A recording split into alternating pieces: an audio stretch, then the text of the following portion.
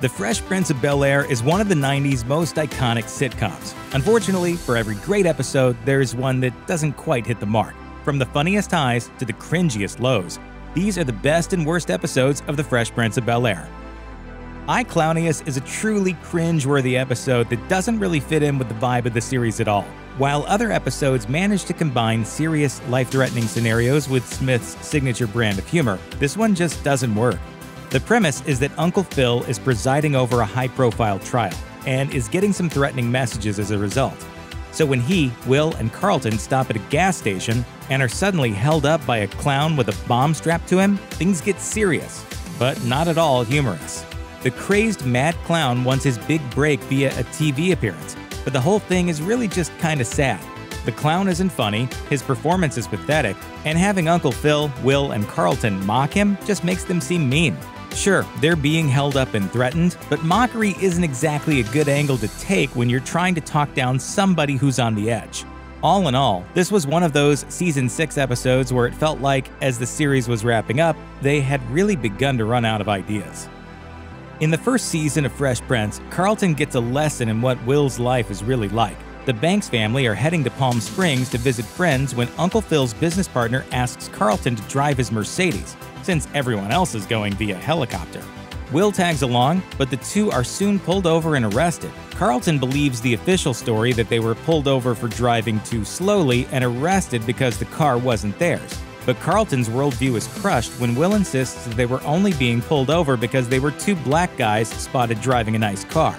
Uncle Phil bails them out, but not without giving the cops a warranted lecture on their legal mishandling of the situation. When Will, Carlton, and Uncle Phil get back home, Will berates Carlton for believing that their race had nothing to do with the incident. I hope you like that system, because you're going to be seeing a whole lot of it during your lifetime. In the end, Carlton appeals to his dad, who wants nothing less than to destroy his son's innocence with the realities of racial profiling in the criminal justice system. If any of the more serious episodes of Fresh Prince are still relevant today, it's this one. Mistaken Identity, sadly, is a genuinely timeless classic. I don't want to marry you. See? that wasn't that hard, was it? oh! It was only a matter of time before Playboy Will found a serious girlfriend, but settling into marriage while barely through college that's where this particular relationship lost the love of a lot of fans. Lisa was introduced during the early part of season 5, in Will's Misery. The premise of that episode was that Lisa was pledging a sorority and had to capture the notorious womanizer Will for some misery style shenanigans. That storyline already put some people off to the character to begin with. So when the two ended up engaged less than a season later, things still didn't feel right. In A Decent Proposal, Will finds himself healing in the hospital after being shot by a mugger. He's probably under the influence of painkillers and definitely high on the adrenaline of his near death experience. So naturally, that's when he proposes to Lisa. Lisa, will you marry me? Lisa later confronts Will and says he only proposed to her because he experienced a moment of vulnerability.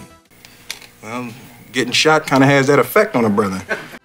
Eventually, the two go through counseling and end up not going through with the wedding after all. But the whole relationship made an otherwise top notch season kind of a downer. As for Lisa, she sadly didn't have a personality other than being Will's girlfriend, so she quickly disappeared without a second thought. Throughout the entire run of Fresh Prince, Will always aspired to be some sort of ladies' man. He was constantly hitting on girls, taking them on dates, and trying to get them alone. In later seasons, he finally devoted himself to Lisa, but not without solidifying his reputation as a total player. So when Will actually hit it off with a girl who was unlike any of the others he's dated, the show managed to tackle the issue of body shaming and sizeism long before those words ever became a thing in society. Season 2's She Ain't Heavy features Queen Latifah as Dee Dee, Will's blind date to a basketball game, who's a little more plus size than he's used to. But Dee Dee calls him on his snap judgment of her size, and the two really bond over their shared sense of humor and similar interests. Will's still too afraid to ask Dee Dee to the school dance, however, knowing that his friends have already made fun of him for hanging with her. That's right, I can't figure out how a brother goes from T-bone to rump bros, that's all. Ultimately, Will and Dee Dee go on other dates, but they both have a miserable time. Will recognizes the error of his ways, and the two make up. Unfortunately, the relationship was soon forgotten, as is the way of episodic sitcoms, but Dee Dee's storyline really brought a breath of fresh air to Fresh Prince. In the incredibly offensive episode Get a Job, Will and Carlton both battle it out for the position as an assistant on Hillary's daytime talk show. In order to get the gig, Will lands a famous movie director named Maurice, played by Chris Rock. But Maurice says that he'll only appear on Hillary's show if Will takes his sister, Jasmine, for a date night out on the town. The sister turns out to be Chris Rock in drag, and she totally digs Will, who has to fake liking her to show her a good time. Looking back now, the whole thing comes off as incredibly transphobic, and the cross dressing comedy is pretty out of date and not at all funny. From the leopard print dress to the bad platinum blonde wig to the bright red lipstick, it's clear that the whole role of Jasmine is supposed to be a caricature of a drag queen, which by today's standards is more than a little insensitive. This was another late series episode, with the only plus side being that Rock's career took off after the appearance. In Blood is Thicker Than Mud, Will and Carlton participate in Rush Week at college and decide to pledge Phi Beta Gamma, a black fraternity on campus. Like any other frat rush, the tasks are humiliating and grueling, but Carlton is definitely treated the worst by Top Dog, the leader of the frat, because of his rich background. So when Will makes Phi Beta Gamma, but Carlton doesn't, Will tries to pretend that neither of them made it. However, when Carlton eventually confronts Top Dog, the frat leader calls Carlton a sellout. I'm not accepting no prep school Bel Air bred sellout into my fraternity. But Carlton, surprisingly enough, stands up for himself. Being black isn't what I'm trying to be, it's what I am.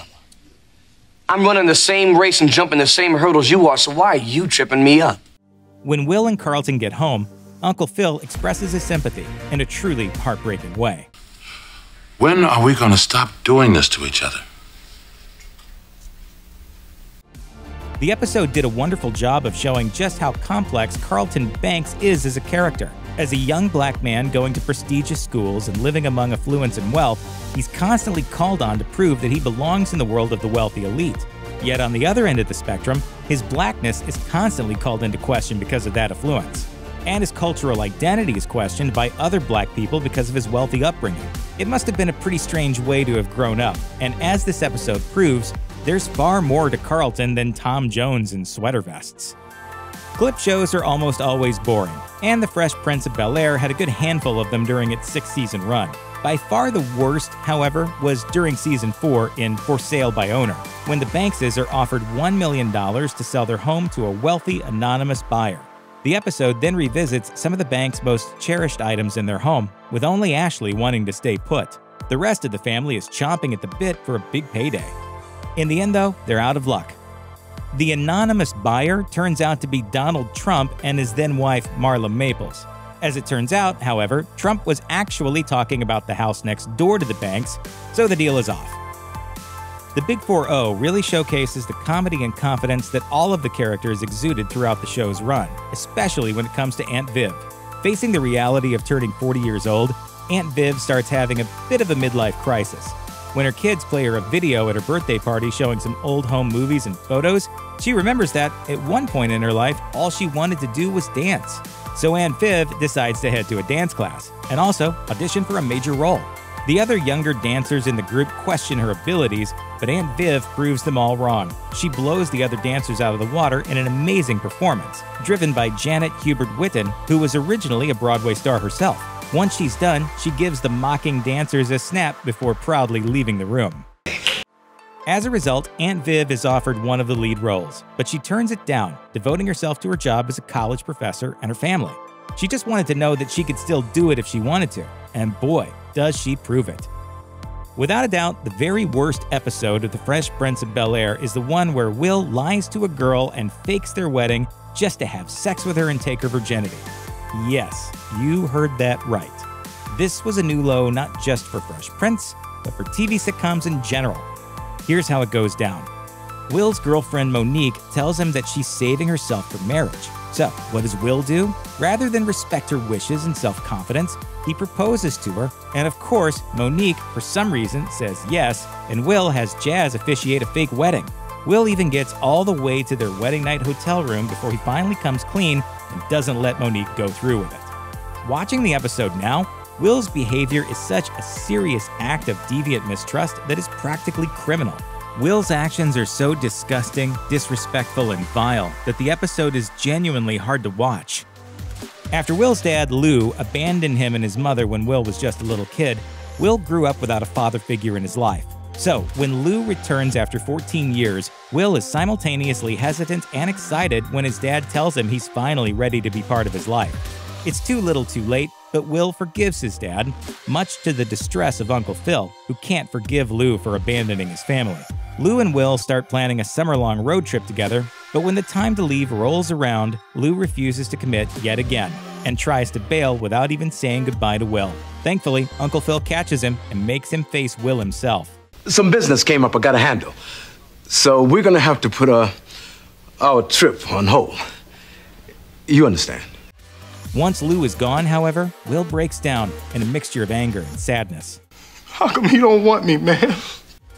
That's when he collapses, crying into the arms of the only man who's ever been a father figure to him. The episode proved not only that Smith could really act when the drama called for it, but the show wasn't afraid to tackle serious issues like absentee fathers and psychological trauma. The episode was funny, touching, sad, and filled with love. In other words, it was Fresh Prince of Bel Air at its very best. Check out one of our newest videos right here. Plus, even more Looper videos about your favorite shows are coming soon. Subscribe to our YouTube channel and hit the bell so you don't miss a single one.